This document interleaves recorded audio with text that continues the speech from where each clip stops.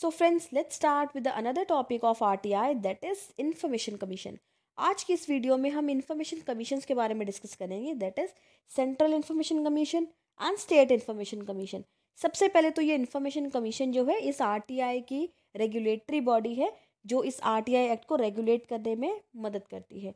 और central level पे काम करने वाली अथॉरिटी जो है, उसे सेंट्रल इन्फॉर्मेशन कमीशन के अंदर रिकॉग्नाइज किया जाता है और स्टेट लेवल पे जो अथॉरिटीज़ काम करती हैं that are been registered under state information commission तो फ्रेंड्स चलिए बात करते हैं सेंट्रल इन्फॉर्मेशन कमीशन की।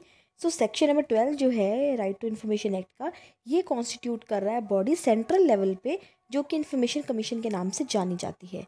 That is central information commission और ये जो बॉडी है it is been established under section twelve of this act according to this section इस कमीशन में टोटल टेन मेंबर्स रहते हैं, जिसमें से एक तो है who will be a chief information commissioner and remaining nine will be normal information commissioners so friends I hope आपको ये बात क्लियर हो गई होगी कि सेक्शन नंबर ट्वेल्व में जो बॉडी कॉन्स्टिट्यूट हो रही है, उसमें कुल मिला के दस मेंबर्स रहते हैं, जिसमें से एक चीफ इंफॉर्मेशन कमिश्नर और बाकी अदर कमिश्नर्स रहते हैं।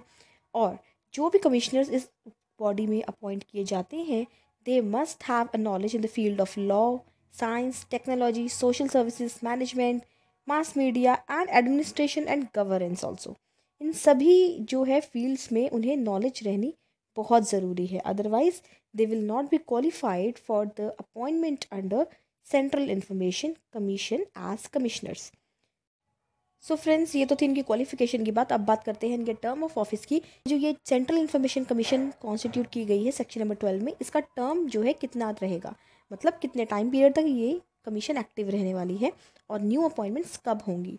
तो as per this section total five years तक ही एक कमीशन एक्टिव रह सकती है या फिर उनकी मैक्सिमम एज अटेन होने तक that is sixty five so friends या तो फाइव ईयर्स तक वो ऑपरेशन में रहेंगे या उनकी एज सिक्सटी फाइव होने तक ही उनको उस बॉडी में रखा जाएगा. Otherwise they will be removed from that very services और साथ ही साथ इस सेक्शन में ये बताया जा रहा है कि इनके जो अलाउंसेज हैं सैलरीज हैं, ये कभी भी किसी भी हाल में वेरिएट नहीं की जाएगी चेंजेस नहीं किए जाएँगे, इसको रिड्यूस डिडक्शंस नहीं किए जाएँगे।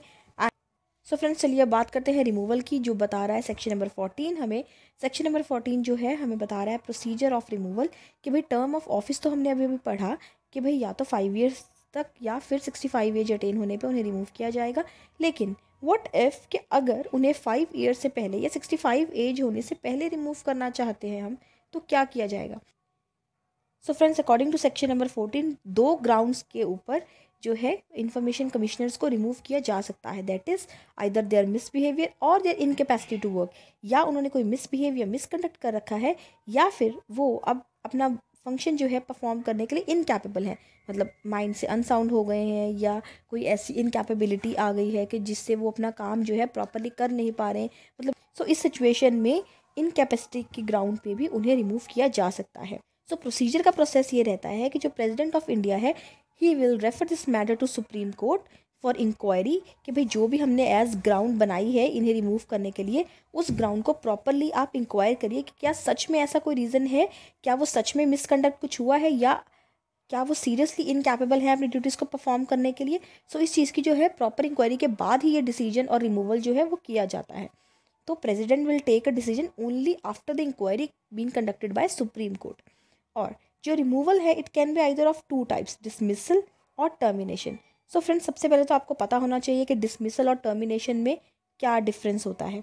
सो so फ्रेंड्स अगर हम बात करें टर्मिनेशन की, ठीक है तो टर्मिनेशन वाले ग्राउंड में क्या होता है कि आप री अपॉइंटमेंट के लिए जो है एलिजिबल रहते हैं। लेकिन अगर हम बात करें डिसमिसल की, अगर आपको डिसमिस किया गया है तो आपको री अपॉइंटमेंट के लिए दोबारा कंसिडर नहीं किया जाता। तो अब ये डिपेंड करता है कि आपको किस तरह से रिमूव किया गया है? आपकी सर्विसेज़ को टर्मिनेट किया गया है या आपको डिसमिस किया गया है? सो so, इस पोजीशन को देखते हुए ही जो प्रेसिडेंट जी हैं वो डिसीज़न लेते हैं। सो so, फ्रेंड्स अब देखते हैं प्रेसिडेंट कब जो है टर्मिनेट कर सकता है सर्विसेज़ को। किसकी? चीफ इन्फॉर्मेशन कमिश्नर या नॉर्मल इन्फॉर्मेशन कमिश्नर की।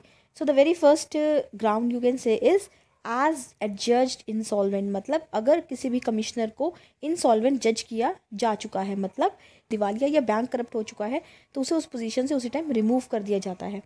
And next is convicted for an offence या फिर वो किसी ऑफेंस के लिए कन्विक्शन जो है अनाउंस हो चुकी है उसे, उस सिचुएशन में भी उसे उस पोजीशन से रिमूव कर दिया जाएगा। या फिर वो पर्सन जो है, वो आउटसाइड द सर्विसेज़ कोई और एम्प्लॉयमेंट भी लेकर बैठा है, जिसके लिए वो पे ले रहा है। फॉर एग्ज़ाम्पल कि अगर वो इन्फॉर्मेशन कमिश्नर की पोस्ट लेकर बैठा है और उसके अलावा भी वो कोई जॉब या कोई ऐसी सर्विसेज़ कर रहा है, जिसके लिए वो ऑथोराइज नहीं है। And the next reason is is infirmity of mind and body जैसे कि मैंने आपको ऑलरेडी बताया कि इनकेपेबिलिटी का मतलब कि अब वो सक्षम नहीं है उस पोजीशन को हैंडल करने के लिए, या तो फिजिकली या मेंटली वो इनफर्म है he is not capable to carry out his functions at all now the last reason is he acquired financial and other interest that affects the function उसने अपने वर्क के रिगार्डिंग कुछ ऐसा financial interest जो है ले रखा है, जिसके लिए वो लीगली ऑथोराइज नहीं है। सो फ्रेंड्स इन सिचुएशंस में प्रेसिडेंट जो है, वो सेंट्रल इंफॉर्मेशन कमीशन के किसी भी कमिश्नर को रिमूव कर सकता है। Now let's have a quick review of central information commission central information commission की कॉन्स्टिट्यूशन जो है, ये सेक्शन ट्वेल्व में की जाती है, जिसमें हमें ये पता लगा कि भाई इसमें टोटल टेन मेंबर्स रहते हैं, जिसमें से नौ नॉर्मल मेंबर्स रहते हैं और एक चीफ इन्फॉर्मेशन कमिश्नर की तरह होता है। और इन्हें कुछ फील्ड्स में नॉलेज होना बहुत ज़रूरी है, जैसे कि law science technology social science management mass media administration and governance इन चीज़ों की नॉलेज होना इन्हें बहुत ज़रूरी है। फिर हमने बात करी सेक्शन नंबर थर्टीन की, जिसमें हमने इनके टर्म के बारे में पढ़ा कि इनका टर्म जो है फाइव ईयर्स तक होता है या इनकी age of maximum term period रहता है that is sixty five sixty five age के बाद या तो रिमूव कर दिए जाएँगे या फिर इनके फाइव ईयर्स पूरे हो जाने पे। फाइव ईयर्स किसके? सर्विस के। जो कमीशन है, इसे इस्टेब्लिश किए हुए अगर फाइव ईयर्स हो चुके हैं तो अब न्यू जो कमीशन है दैट इज़ बीन अपॉइंटेड और इसके साथ साथ ये बताया है कि इनकी जो सर्विसेज़ हैं, इसकी सैलरी और जो जो भी इनका रेमनरेशन है, उसे डिमोलिश कभी नहीं किया जाएगा। उसके बाद हमने बात की इसमें रिमूवल की that is been given under section fourteen कि ये रिमूवल दो तरह से किया जा सकता है आइदर एज टर्मिनेटेड और आइदर एज डिसमिसल डिसमिसल और टर्मिनेशन में डिफरेंस हम ऑलरेडी डिस्कस कर चुके हैं। डिसमिसल में आपको रीअपॉइंटमेंट का चांस नहीं दिया जाएगा और टर्मिनेशन में आपको रीअपॉइंटमेंट का चांस दिया जा सकता है। और रिमूव करने के लिए दो ही ग्राउंड्स हैं मेन दैट इज़ मिसबिहेवियर और इनकेपेसिटी और ये कैसे किया जाएगा? प्रेसिडेंट जी सबसे पहले सुप्रीम कोर्ट को इंक्वायरी का एक लेटर भेजेंगे कि आप प्लीज़ इस जो भी ग्राउंड पे इन्हें रिमूवल की रिक्वेस्ट आ रही है, आप उसे इंक्वायर कीजिए कि क्या सच में ये ग्राउंड प्रेजेंट है या नहीं, और उस रिपोर्ट के अकॉर्डिंग जो है प्रेसिडेंट अपना डिसीज़न सुनाएँगे।